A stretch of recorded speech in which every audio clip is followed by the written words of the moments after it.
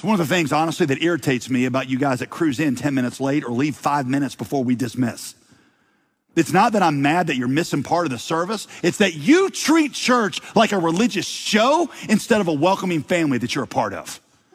When people say that the church is unfriendly and it feels like a big production, you're the problem. And